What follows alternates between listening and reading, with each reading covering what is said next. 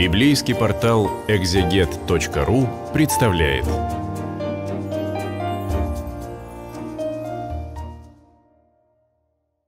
Библейский портал экзегет.ру представляет цикл бесед на Евангелие от Иоанна. Сегодня мы читаем шестую главу. После сего пошел Иисус на ту сторону моря Галилейского, в окрестности Тивериады. За ним последовало множество народа, потому что видели чудеса, которые он творил над больными. И Иисус зашел на гору, и там сидел с учениками своими. Приближалась же Пасха, праздник иудейский. И Иисус, возведя очи и увидев, что множество народа идет к нему, говорит Филиппу, «Где нам купить хлебов, чтобы их накормить?» Говорил же это, испытывая его, ибо сам знал, что хотел сделать. Филипп отвечал ему, «Им на двести динариев недовольно будет хлеба, чтобы каждому из них досталось хотя понемногу». 200 динариев — это... Динарий — это обычная дневная плата паденщика, то есть это где-то 200 дневных зарплат. Довольно большая сумма. Один из учеников его, Андрей, брат Симона Петра, говорит ему, «Здесь есть у одного мальчика пять хлебов ячменных и две рыбки. Но что это для такого множества?» Иисус сказал, «Велите им возлечь». Было же на том месте много травы. И так возлегло людей числом около пяти тысяч. Иисус, взяв хлеба и воздав благодарение, раздал ученикам, а ученики возлежащ... возлежащим, также и рыбы, сколько кто хотел. И когда насытились, то сказал ученикам своим, «Соберите оставшиеся куски, чтобы ничего не пропало». И собрали и наполнили двенадцать коробов кусками от пяти ячменных хлебов, оставшимися у тех, которые ели. Тогда люди, видевшие чудо, сотворенное Иисусом, сказали, это истинно тот пророк, которому должно прийти в мир. И Иисус же, узнав, что хотят прийти, нечаянно взять его и сделать царем, опять удалился на гору один. На пять тысяч человек есть мальчик, у которого есть э, пять хлебов ячменных и две рыбки. И э, этот мальчик отдает это чтобы насытить такое множество. Мы видим здесь пример того, как бывает, что у человека есть очень небольшие возможности послужить Богу. Очень небольшие. И они кажутся совершенно несоразмерными. Когда такая огромная нужда, есть огромная толпа, пять тысяч человек, они голодны. И все, что есть, это вот эти хлебы и рыбки, от которых никакого толку, но он их отдает Богу. Он их отдает Господу Иисусу, и Господь Иисус берет эту маленький, маленькую лепту, маленький вклад и умножает его так, что он насыщает всех этих людей. И мы видим, как он насыщает. Он делает это через учеников. Здесь происходит чудо, происходит умножение хлебов. И, конечно, Господу было бы легко сделать так, чтобы чудесным образом в руках у каждого человека оказался бы и хлеб, и рыба. Можно было бы обойтись без учеников, теоретически. Но Господь дает этот хлеб через учеников. Почему? Потому что это чудо является прообразом Евхаристии. И как Господь насыщает этих людей хлебами, так Он насыщает всю церковь Евхаристией преподавая свое тело и кровь через своих учеников, то есть через епископов и священников. И собрали и наполнили 12 коробов кусками от пяти ячменных хлебов. Здесь подчеркивается, что произошло реальное умножение хлебов, произошло реально сверхъестественное событие, потому что в веке в XIX, когда многие либеральные христиане стали смущаться чудесами, а, вокруг а, все в чудеса не верили, а, они стали говорить, ну, может быть, это было такое психологическое чудо, может быть, у каждого в котомке э, были какие-то запасы продовольствия, но люди за них держались, а Иисус просто вдохновил всех поделиться, в итоге оказалось, что всем хватает. На самом деле нет, конечно. Мы видим здесь вот эти короба, полные хлеба, произошло реальное умножение, сверхъестественное умножение этих хлебов, и мы видим, что Господь ожидает почтительного отношения к его дарам. Нужно все собрать, чтобы ничего не пропало. А избыток продовольствия — это не причина относиться к нему с пренебрежением. Надо все собрать, потому что это Божьи дары, к ним нужно относиться с почтением. Тогда люди, видевшие чудо, сотворенное Иисусом, сказали, это истинно тот пророк, которому должно прийти в мир, и что они захотели? Они его захотели тут же сделать царем. Ну, это же было бы очень здорово. Был бы царь, при котором проблемы с продовольствием были бы решены раз и навсегда. Он бы просто совершал бы чудо, когда надо, и все бы ходили сытые. А, идеальный царь. Это просто лучшего ничего и мечтать не надо. Но оказывается, что у Господа другие совершенно планы. Другие. И что его цель не в том, чтобы мы все были всегда сыты. Его цель в нашем вечном спасении. И он не захотел становиться царем, удалился на гору один. Когда же настал вечер, то ученики его сошли к морю и, войдя в лодку, отправились на ту сторону моря, в Капернаум. Становилось темно, а Иисус не приходил к ним. Дул сильный ветер, и море волновалось. Проплыв около 25 или 30 стадий, они увидели Иисуса, идущего по морю и приближавшегося к лодке, и испугались. Но он сказал им, «Это я, не бойтесь». Они хотели принять его в лодку, и тотчас лодка пристала к берегу, куда плыли. Господь ходит по воде, и это показывает его власть над всеми стихиями. На другой день народ, стоявший по ту сторону моря, видел, что там, кроме одной лодки, в которую вошли ученики его, иной не было, и что Иисус не входил в лодку с учениками своими, а отплыли одни ученики его. Между тем пришли из Тивериады другие лодки близко к тому месту, где ели хлеб по благословении Господним. И так, когда народ увидел, что тут нет и Иисуса, ни учеников его, то вошли в лодки и приплыли в Капернаум, ища Иисуса. И, найдя его на той стороне моря, сказали ему, «Рави, когда ты сюда пришел?» Иисус сказал им в ответ, «Истинно, истинно говорю вам, вы ищете меня не потому, что видели чудеса, но потому, что ели хлеб и насытились. Старайтесь не о пище тленной, но о пище, пребывающей в жизнь вечную, которую даст вам Сын Человеческий, ибо на нем положил печать свою Отец Бог. И понятно, что горячий интерес этих людей, их желание быть с Иисусом, было связано с тем, что они, по крайней мере, будут сыты, что он может накормить своих последователей хлебом. Но Иисус говорит, что главное не в этом. Старайтесь не о пище тленной, но о пище, пребывающей в жизнь вечную. Мы все стараемся о пище тленной, конечно, мы все стараемся не голодать, но это не самое важное. Мы должны искать вечного спасения. И часто бывает, что человек оказывается даже в некотором таком недоумении и в обиде на Бога, что Бог не дает ему чего-то, что он хотел бы здесь, на земле, по своей воле, какой-то пищи тленной. И тут применимы слова Евангелия «Старайтесь не о пище тленной, но о пище, пребывающей в жизнь вечную». И так сказали ему, что нам делать, чтобы творить дела Божии? Иисус сказал им в ответ, вот дело Божие, чтобы вы веровали в того, кого Он послал. Самое главное, дело Божие — веровать в того, кого Он послал, то есть в Иисуса Христа. Заповедь Божия, первая заповедь Божия начинается с провозглашения Бога. «Я Господь Бог твой, который вывел тебя из земли египетской, да не будет у тебя других богов перед лицом моим». То есть все Божьи дела начинаются с веры. Для того, чтобы творить Божьи дела, мы прежде всего должны веровать в Иисуса. На это сказали ему, «Какое же ты дашь знамение, чтобы мы увидели и поверили тебе? Что ты делаешь? Отцы наши ели манну в пустыне, как написано, хлеб с неба дал им есть». Речь идет о ветхозаветных событиях, когда Божий народ шел из Египта по пустыне в землю обетованную, то есть обещанную Богом, и Бог питал их по дороге манную особой пищей, которая сходила с небес.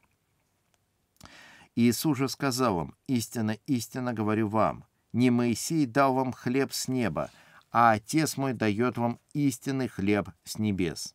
Ибо хлеб Божий есть тот, который сходит с небес и дает жизнь миру». На это сказали ему, «Господи, подавай нам всегда такой хлеб». Иисус же сказал им, «Я есть хлеб жизни. Приходящий ко мне не будет аукать, то есть голодать, и верующий в меня не будет жаждать никогда. Иисус называет себя хлебом жизни, и мы сейчас увидим, что это означает подробно. Но я сказал вам, что вы видели меня и не веруете. Все, что дает мне Отец, ко мне придет, и приходящего ко мне не изгоню вон. Это должно ободрить всякого кающегося, потому что Господь говорит, приходящего ко мне не изгоню вон. Ибо я сошел с небес не для того, чтобы творить волю мою, но волю пославшего меня Отца. Воля же пославшего меня Отца есть та, чтобы из того, что Он мне дал, ничего не погубить, но все-то воскресить в последний день. Воля пославшего меня есть та, чтобы всякий видящий Сына и верующий в Него имел жизнь вечную. И я воскрешу его в последний день. Господь обещает воскресить в последний день всякого, кто верует в Него. Возроптали на Него иудеи за то, что Он сказал «Я есмь хлеб, сшедший с небес», и говорили «Не Иисус ли это, сын Иосифов, которого отца и мать мы знаем? Как же, говорит, я шел с небес?» Иисус сказал им в ответ «Не ропщите между собою. Никто не может прийти ко мне, если не привлечет его Отец, пославший меня. Я воскрешу его в последний день». Иисус говорит о Божьей благодати, которая открывает истины веры. Потому что для неверующих иудеев Иисус — это просто человек, которого отца и мать мы знаем, а, то есть э, они знают его приемного отца Иосифа и Марию, и они знают э, все его окружение, и они, все, что они в нем видят — это просто человека. Но Отец Святым Духом открывает людям истину, что Иисус есть Спаситель мира. И человек не может обрести веру без благодати Святого Духа. Это сверхъестественный дар Бога. Блаженный Августин в одном из своих трудов говорит о том, что когда проповедуется Евангелие, когда возвещается Слово Божие, то Святой Дух касается сердца человека, и вот Святой Дух побуждает человека к вере. Без этого сверхъестественного дара Божия человек не мог бы уверовать. Человек бы видел в Иисусе не больше, чем человека. У пророков написано «И будут все научены Богом, всякий слышавший от Отца и научившийся приходит ко мне». Это не то, чтобы кто видел Отца, кроме того, кто есть от Бога. Он видел Отца. Истина, истинно говорю вам, верующий в Меня имеет жизнь вечную. Святой Дух, который приводит нас к Иисусу Христу, Он приводит нас к вечной жизни, потому что верующий имеет жизнь вечную. Кому это относится? Это относится ко всем верующим членам церкви, мы все имеем жизнь вечную. Нам всем дарована совершенно новая жизнь, которой мы призваны жизнь, жить, которую мы призваны в себе взращивать.